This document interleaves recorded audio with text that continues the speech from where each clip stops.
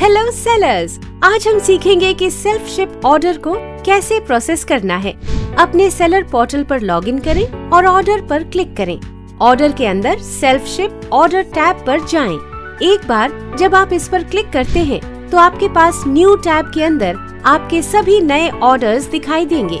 उस पेज पर उन ऑर्डर्स का चयन करें जिन्हें आप प्रोसेस करना चाहते हैं और डिस्पैच पर क्लिक करें।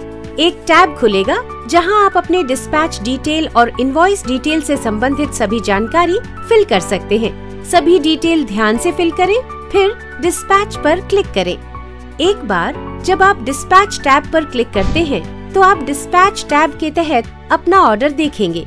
चूँकि सेल्फ शिप ऑर्डर सेलर के अपने लॉजिस्टिक्स पार्टनर्स द्वारा डिलीवर किए जाते हैं, इसलिए सेलर खुद से डिस्पैच टैब के अंदर ऑर्डर की रीसेंट लोकेशन या स्टेटस अपडेट कर सकते हैं।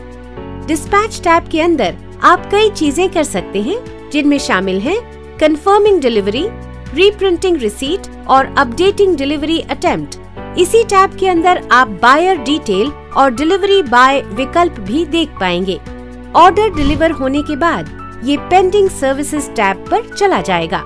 टैब आपके प्रोडक्ट के लिए पेंडिंग सर्विसेज़ के बारे में दिखाएगा यदि कोई हो, एक बार पेंडिंग सर्विस पूरी हो जाने के बाद आपका ऑर्डर पूरा हो जाएगा।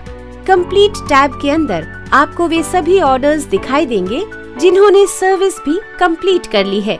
वीडियो देखने के लिए धन्यवाद। फ्लिपकार्ट प्रोसेस से संबंधित अधिक वीडियोस के लिए कृपया चैनल को सब्सक्राइब करें।